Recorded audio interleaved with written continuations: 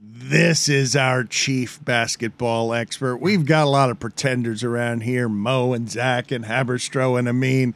But the guy who is our real basketball expert is the guy who comes on here and says, as he did last time, that when Boston is playing against Golden State, Boston looks like the varsity and Golden State looks like the junior varsity. And he said Boston is just a lot more talented. And since then, all that's happened is that Golden State is on the cusp of winning the championship, rendering everything that he said wrong. Now, he did offer the qualifier. He said, just because the things I'm saying are so, does not mean that Golden State cannot win.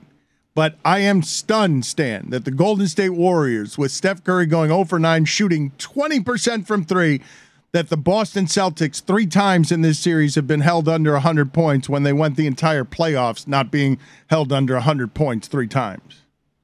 I'm not really surprised by that. Golden State's defense is good. And one of the things I said the last time I was on, I said Golden State has a does not have much of a margin for error. They have to turn Boston over, which they have done, right? They have to be able to hold their own on the boards, which they have done in the two games. Uh, look, it still comes down to, to me, that the two things in that game the other night were 18 turnovers from Boston to seven, I think, from Golden State, and Boston missed 10 free throws. They were 21 for 31 at the line.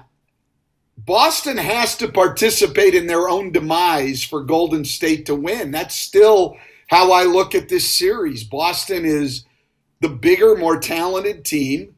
Golden State has been great the last two games, particularly defensively, but Boston has helped them a great deal, and, and that's what needs to happen in that series. And I'm not taking anything away from Golden State because Golden State is not beating themselves, and they're, they stayed in that game the other night um, and won it without shooting well.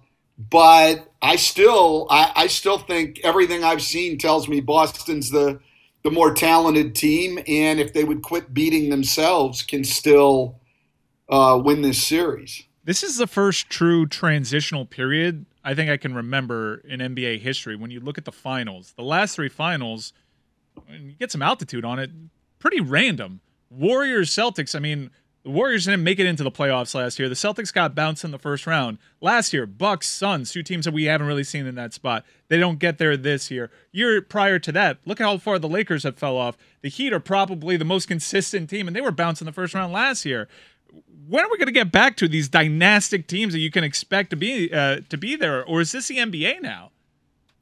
I do think we have more parity now, Mike. I really do. I, I, I think you look around. I mean look at the Eastern Conference when two games separated the the top four teams. You know, during the regular season, um, we we did we thought we had the one outstanding team in Phoenix, and then they just looked like a totally different group once the playoffs hit. But yeah, I think there's a lot of parity right now. And I do think a lot of people pointed out, even coming into the finals, that neither one of these teams were certainly great teams based on what we've seen from some champions in the past. So um, I think Boston is a team you look at going forward as certainly one of, if not the team to beat in the in the coming years. Whereas Golden State, you know, will stay on top for as long as they can, but should be on a little bit of a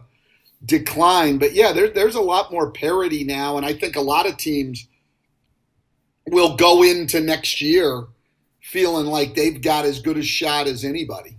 The Suns' postseason story arc was really strange. Granted, they had injury, they got blown out in a fashion at home on Game Seven that was so weird. There's been some reporting done that we haven't really discussed on the show since that they they were dealing with a COVID outbreak while while they were playing Eddie Johnson did a, a radio interview where he kind of alluded to Chris Paul ha- actually playing with COVID. It was perhaps a reckless interview, but is that too much to read into there? Or do you think that COVID might have perhaps nuked this season because you said we had the one team that we thought we knew was good, Phoenix, and that that offseason went off the rails in very quick order and it was bizarre. Might it have been COVID? I would find that hard to believe that they actually knew that. First of all, you would be saying that a team was testing people and ignoring it. And I, I just don't see that happening based on what what goes on. There may be some people who sus, you know, who suspect that people on the team had COVID and weren't tested for it. It sounds to me more of a search for an excuse for a team that won 64 games and performed so poorly in the playoffs. That that's what it uh, seems like to me. I love the coach that dismisses a worldwide pandemic and the possibility of illness showing uh, some variables that throw some randomness into the mix. I love that he dismisses it as an excuse. I don't dismiss it. I'm just excuse. dismissing proof of it. And I do get tired of, I will admit, every time somebody loses that is supposed to be good, we want to make an excuse for them. It's an injury, it's something else. Hey, maybe they just got their ass beat.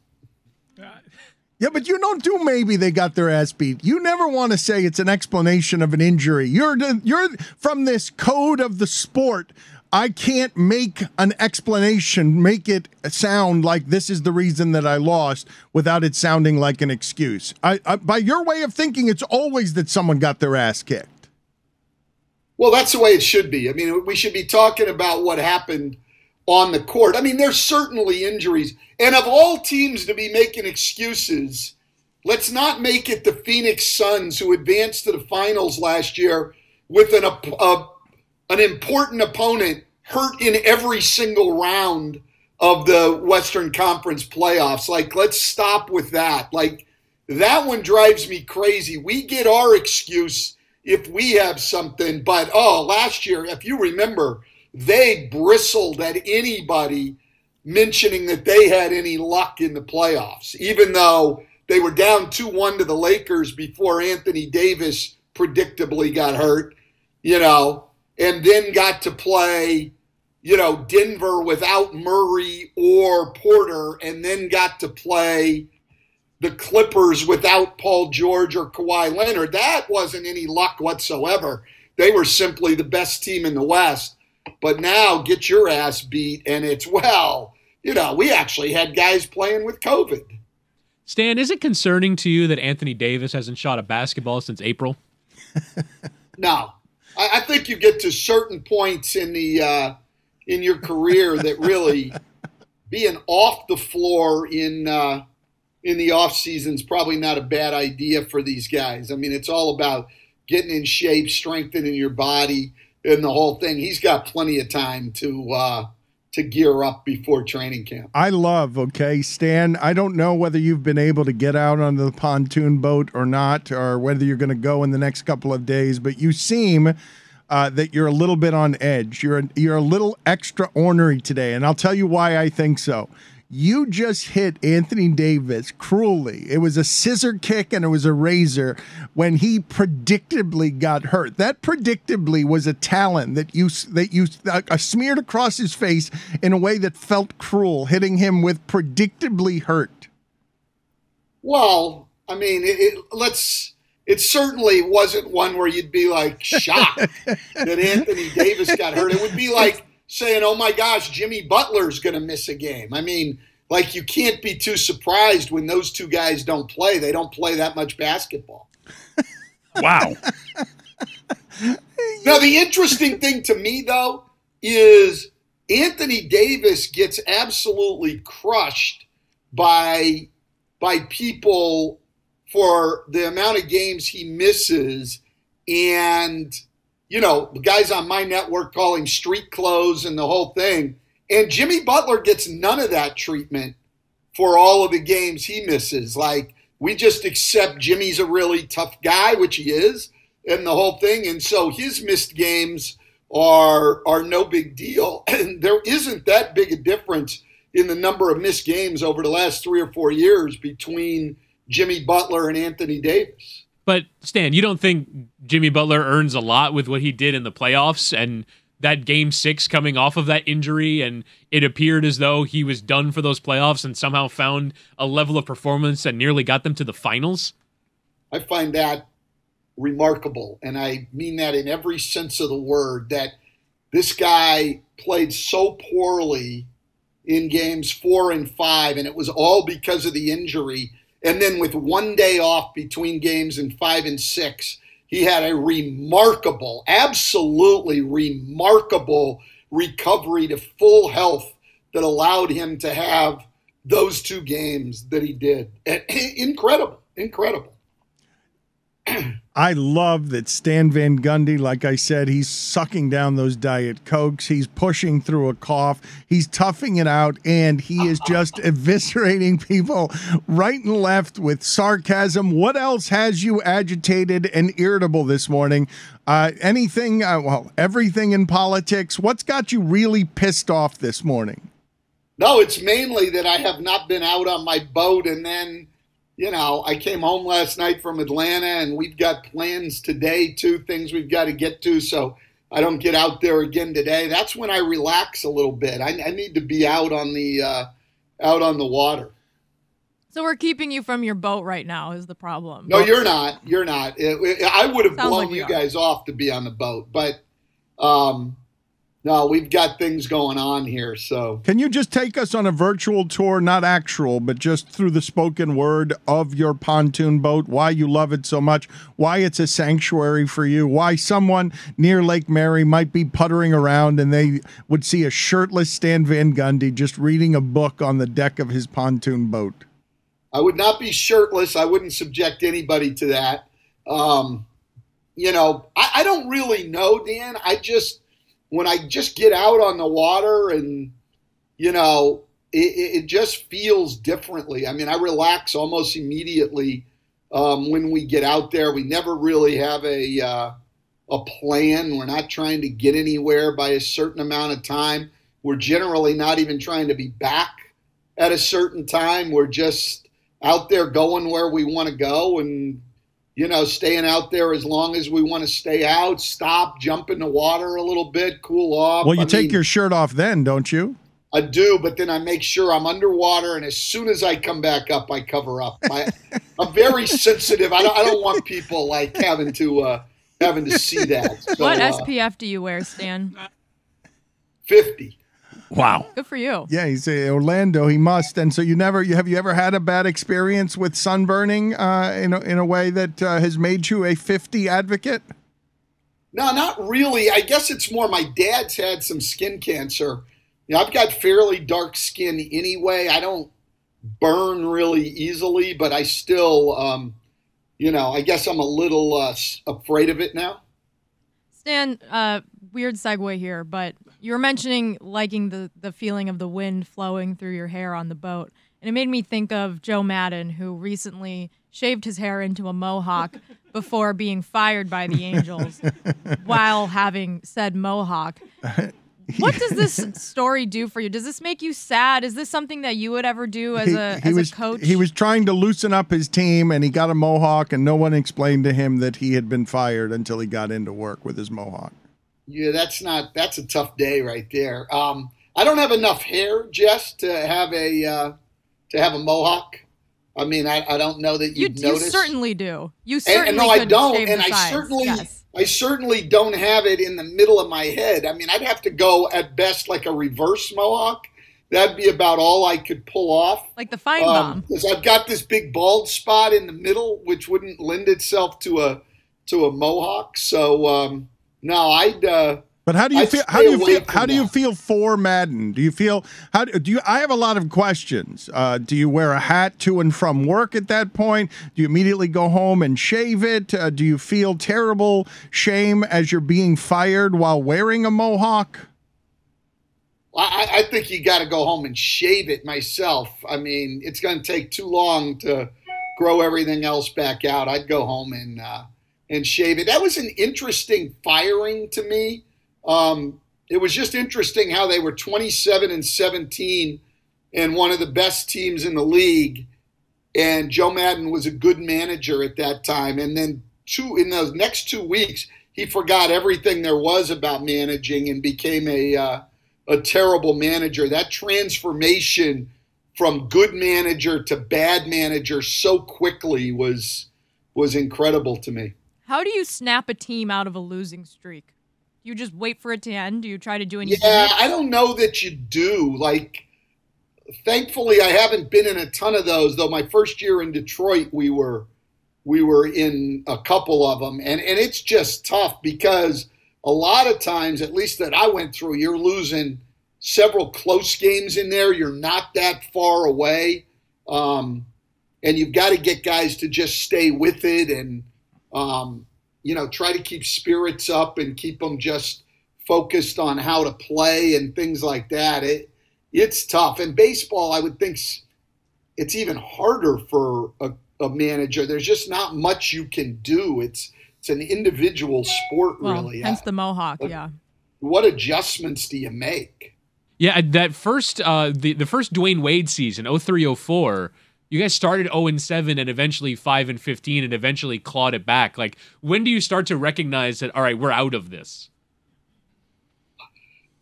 Well, I, I think we realized that part early on. We just tried to get those guys. That, that was a young group, um, and we just tried to get those guys to focus on improvement. And we looked at everything in seven game stretches, seven games being playoff length, and, and they could see pretty clearly by the numbers that that we were getting we were getting better and better um, as time goes on. Now, to get your heads back above water, I mean, it takes a long time. I mean, we were still 25 and I don't know 36, and then won 17 of our last 21. It just and then so it seems like it turned that dramatically, but it didn't. It just gradually got better and better and better and better but that was a remarkable group mentally as well as uh, talent wise.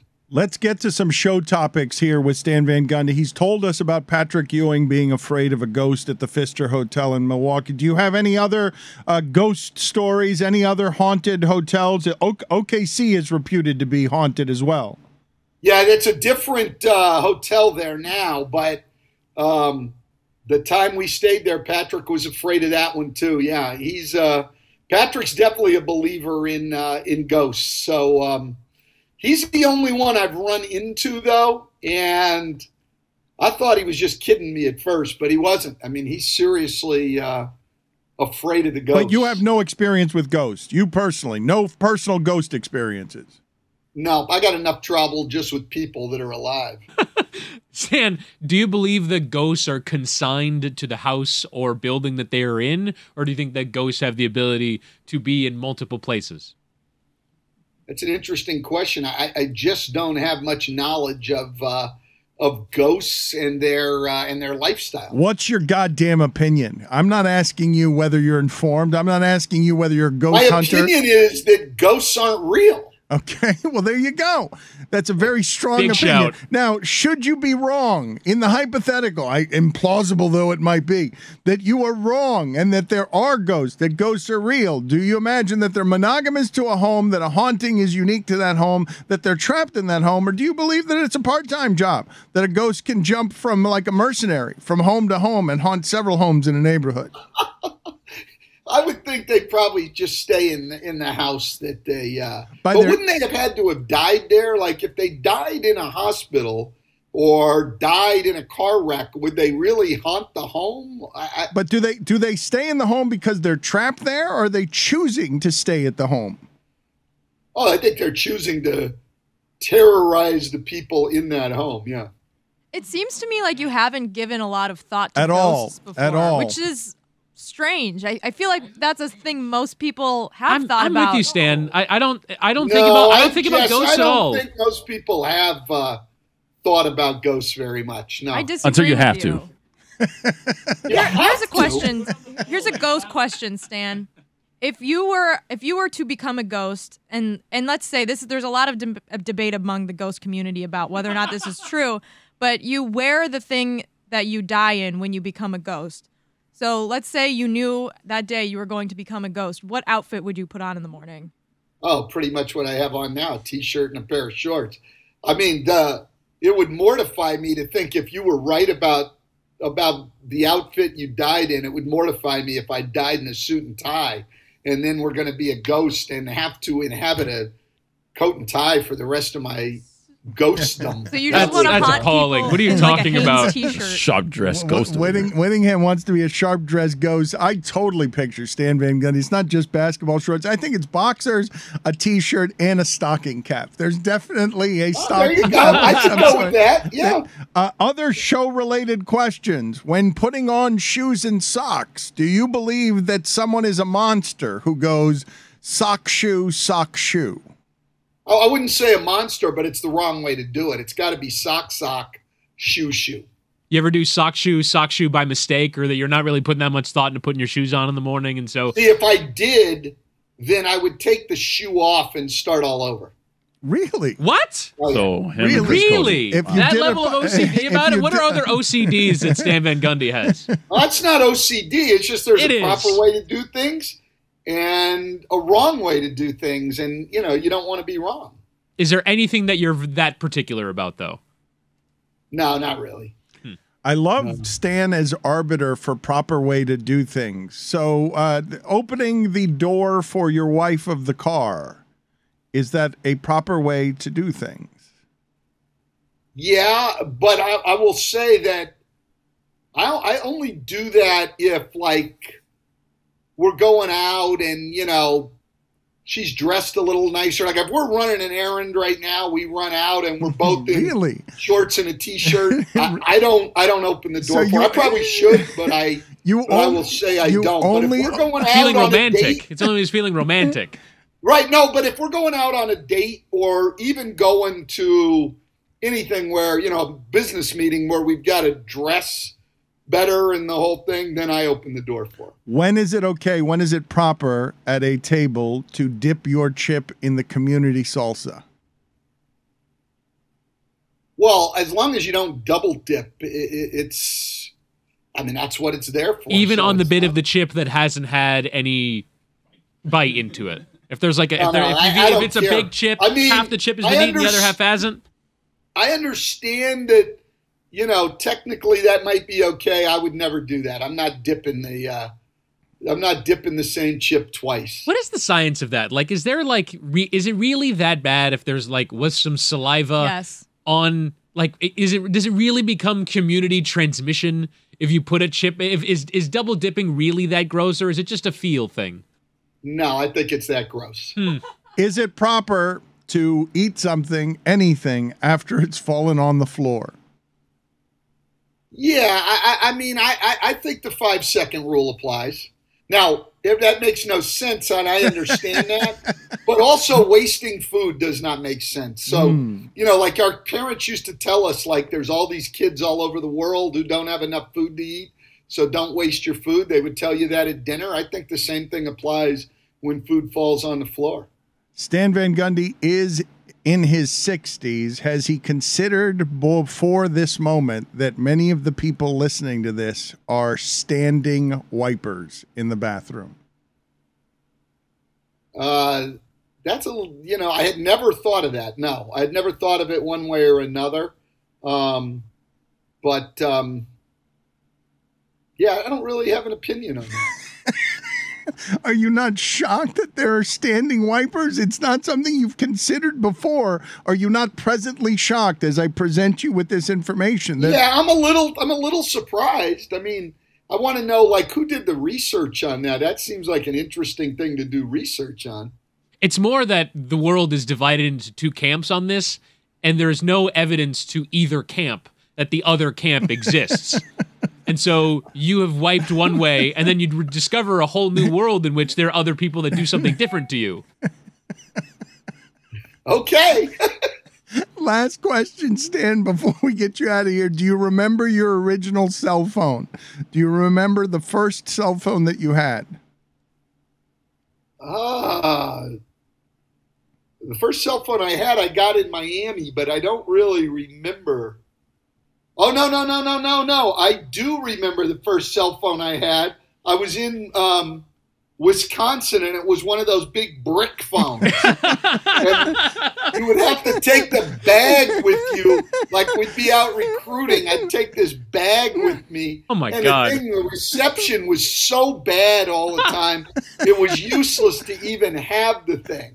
How how much did it weigh? How much did the entire like twenty pounds? I mean, it seemed like like what am I doing carrying this thing? I feel mean, no, like- it probably weighed uh I don't know a pound maybe, but it was such a hassle. It was so big, and like I said, it was so useless. Like I, I mean, you had to stand under a cell tower to get any reception, so. There weren't very many places you could actually use it. It was just crazy. Did you ever have a car phone? I did um, again in Wisconsin. Um, in the car I had there, I had a car phone. I thought I was cool as hell.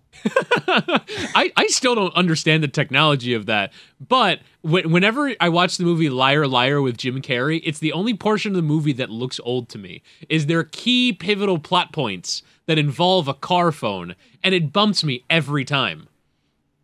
Yeah, I mean, I remember, I remember having it, and, and you know, look, very few people had it then. I, I thought, wow, like, look at me, I got a car. You got a brick. You Height got a- of got- luxury. yes, I've got a twenty dollar phone. I'm a, I'm an assistant coach in Wisconsin. I'm sure it wasn't twenty dollars, Dan. Uh, 20 It- pound, excuse oh, me. 20 I've, got a, pounds, I've got yeah. a 20 pound phone that's worth hundreds of English dollars. pounds, I remember hating the brick phone. I mean, you know, when it was still cool that you could even make cell phone calls, I hated that thing. I was like, this is ridiculous carrying this thing around. Stan, we appreciate that throughout the playoffs you were here to give us your basketball expertise. Uh, I don't understand. I don't think I've seen before a playoff team arrive at the finals where I discovered during the playoffs that they can't dribble as a team. I that's well, not that is interesting. You're right about that, and that's been a big, a big problem. And probably, and we said that coming into the series, probably their only real weakness as a team. They don't have a lot of uh, ball handling. this is the thing though, right? When I make a team that much bigger than the other team and I make the guards six foot eight and six foot nine, at some point I've got to there's gonna be some give on the dribble, right? There's gonna be some there's gonna be some there the guys who are six eight, six nine, I can't keep expecting them to play like the five eleven guys all the time. No, exactly. And, and look, one of the things we always say about the playoffs, particularly the further you go, is your opponents will expose your weaknesses.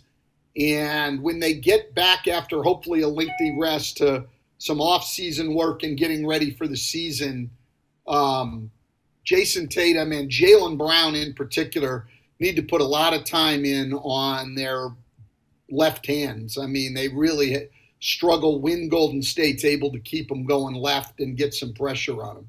And we know that Stan Van Gundy could coach him up because the second most viral clip of Stan Van Gundy is uh, him dribbling in a practice and looked absolutely flawless doing Yes, crossover around the love crossover handles, tactics. It around was the love incredible. handles. People You're a were great ball handler. People Stan. were amazed by your ball handling skills. Well, I, I think they were amazed because um, when they look at me, they set the bar so low that it would have been hard to get over. I don't think what I did was uh, was so remarkable. I just think people expected that I couldn't do anything. So you know that that's been a uh, hallmark of mine is set the bar as low as possible, um, and then you're much more able to get over it. You're here. Uh, Stan, one quick basketball question on the finals. Uh, we were kind of mini debating yesterday whether the Warriors are good offensively yesterday or in, in game five of the finals. And because they missed so many threes, it seemed like they had a bad night, but they were they hit two thirds of their shots from two. Would you say that was a good offensive game from Golden State? I don't think they had a good offensive game, but it wasn't bad. I mean, I would say it was mediocre. They didn't get to the free throw line a lot. They did score 50 points in the paint. Like you said, they shot the two well. And the best thing they did, they took care of the ball. Uh, turnovers had been a big problem for Golden State most of the year. They've done a very, very good job here in the finals um, of taking care of the basketball, and it's one of the big reasons they are where they are now, up three to two. Stan, good talking to you. For those who do not know, he is doing great color commentary with TBS and TNT. Love hearing him on the games. Thank you, sir. Appreciate your time as always. All right. Roy, you've been haunted for months and years by the Tampa Bay Lightning. I think we can make an argument. I don't even know where you guys would go. Would it be the Patriots? Uh, across sports, three time consecutive champions are not something that we've seen a whole lot of. And Stamkos does it in the most lightning way ever to the Rangers, where the Rangers score nine goals in first two games, and then in the last couple of games can't score anything at all. And Tampa Bay advances again to play a Colorado team that has won more games than it's played in the postseason. Correct? They've won 40 games and only played.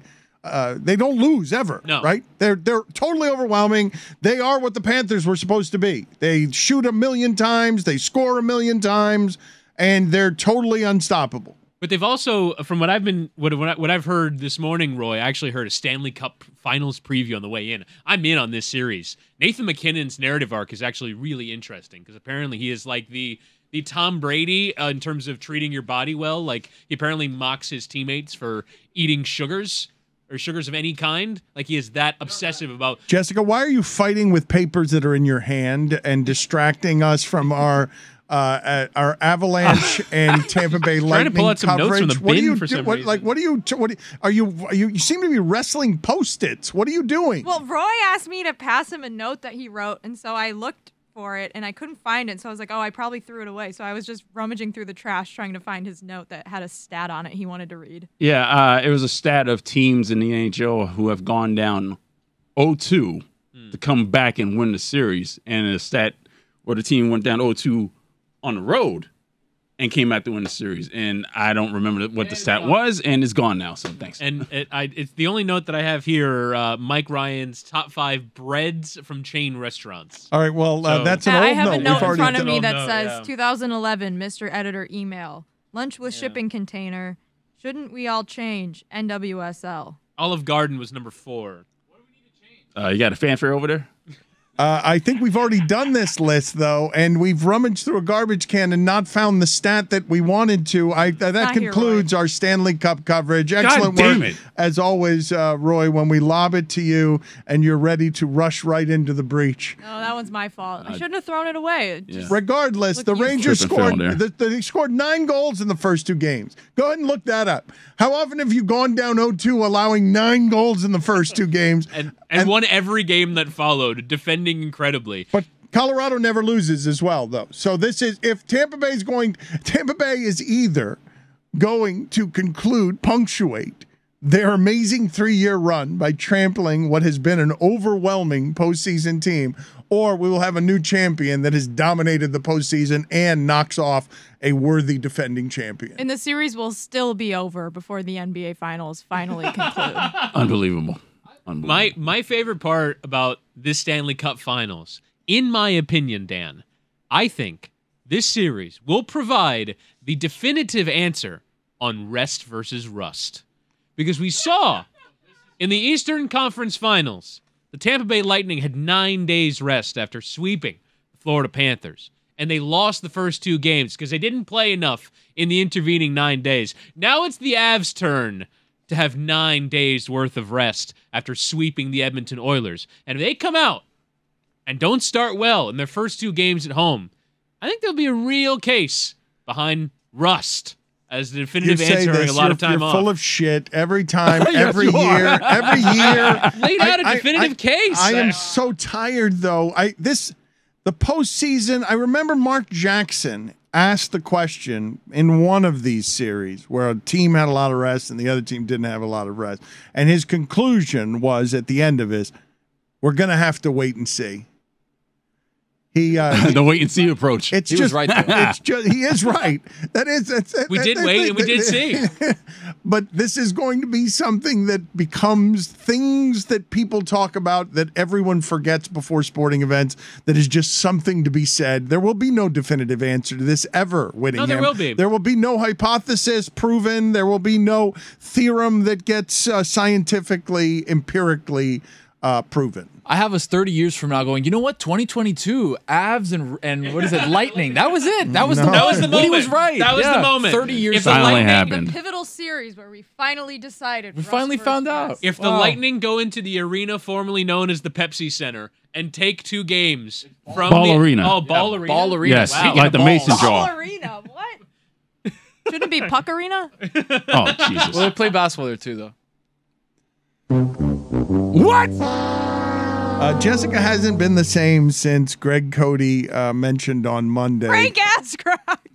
That's what I was going to say. Frank Askrak. She has not been the same. Oh, I missed that one. I had a Yes. note in front of me, speaking of post-it notes, that just said Frank Asscrack for three days, Dan. I just, Why did Why did you write that down? I, ju- I it was important. I just, Frank, like Frank Asscrack. I don't Documented know. for That's- posterity. It's all I have is Frank Asscrack today.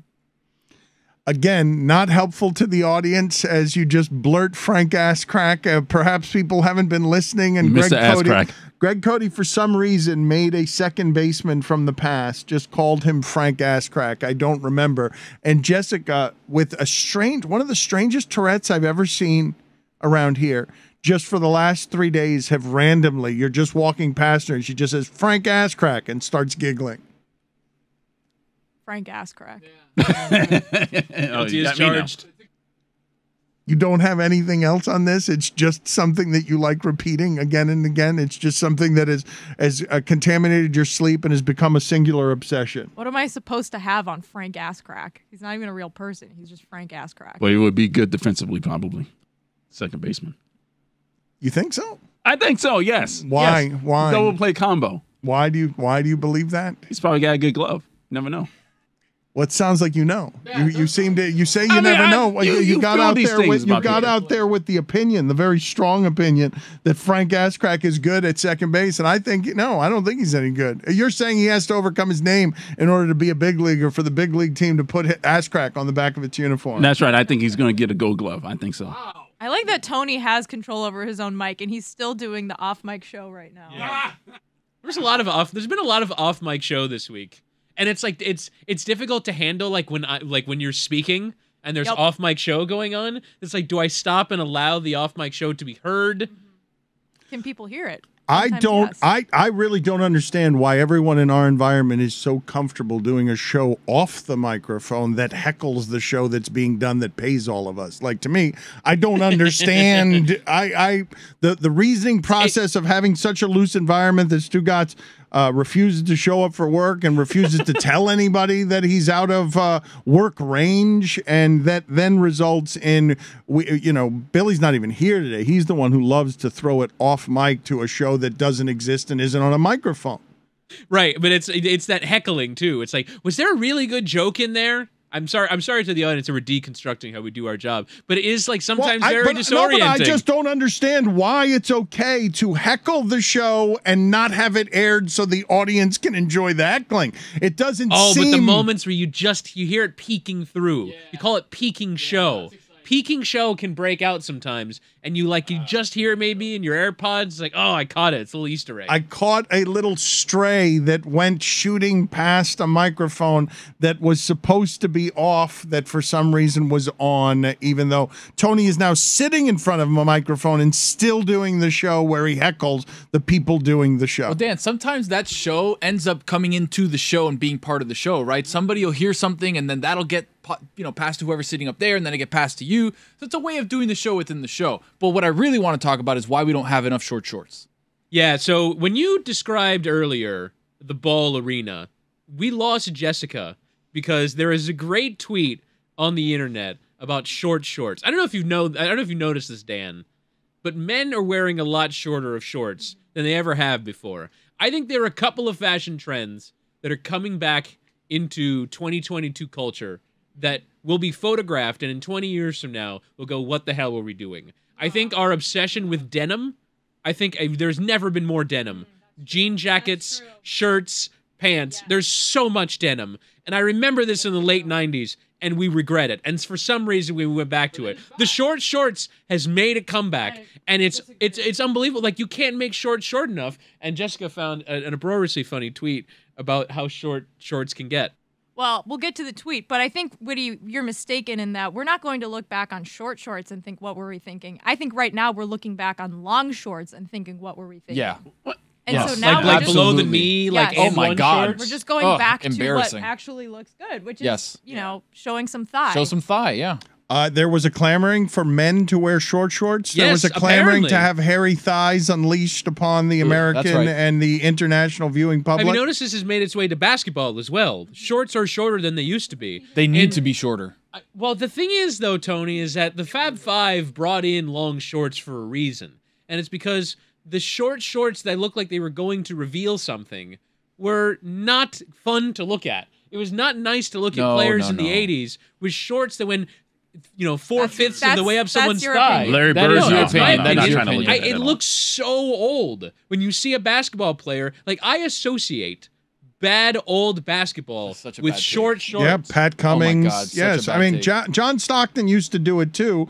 I don't think of him as height of fashion. I was unaware though that this was a thing that had a recent clamoring. I did not realize that it is a new now fashion trend. I have not noticed walking around the beach that more men are wearing shorter shorts. Absolutely. And when Chris talks about the basketball, the, the phenomenon in basketball had a lot to do with hip hop at the time and like what they were wearing, right? Like everything in the early 2000s was baggy and big. I remember Soulja Boy wearing uh, jean shorts that looked like jeans, but that were actually shorts. He used to wear the super long white tees, and like that was the style. So they were bringing in that style into the NBA and into college basketball and to wherever. All of a sudden, you can't find a basketball player under 25 that will wear shorts past anywhere close to their thigh. Like the the best, most elite players are wearing shorts that are like up to oh, here, Come on, man. Yeah. along alongside with What's- it, wa- it was a little dude? What's wrong pale. that. Like, it was a lot of so hair and of some legs? paleness. Well, I They're athletes. Like Stugotz is really bummed that he was not here for that as Tony Oh, hiked guys. up. Oh, Dan, in I'm bummed Hawaii, that I in was. Hawaii, it was like one inches. The shorts. Hmm. I don't. I don't need to see that. I don't need to see that. And and the reason why to Is that why you question- immediately came back and lost uh, weight? Hmm. Oh my maybe. god, To, to, to answer your question, Jessica, it's because we don't we don't work on our tan as like we're not walking around on the beach working on our tan all the time, and so there's hair, there's whiteness, what? and it's unpleasant. That's what the human leg looks like. Exactly. Free the leg. Exactly. It's, you know what? And, and and just talking in terms of sports performance, I imagine playing a sport, and, and I used to play soccer, uh, which the the style's a little different. But I imagine playing a sport where the pants and their shorts are so big and baggy is actually harder oh, than playing with something that fits you a little bit better and isn't going to bug you because it's too big for you. Are you alleging the Fab Five would have won a national championship if they didn't wear shorts that long? No, I'm not saying that. I'm just saying that like I the style doesn't necessarily mean that it's functional. Hmm. I just don't think most men listening to this say, you know what the world needs more of? My upper thigh.